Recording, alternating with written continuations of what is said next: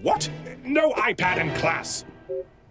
Five little hedgehogs jumping in a bin. One fell out and broke his skin. Yay!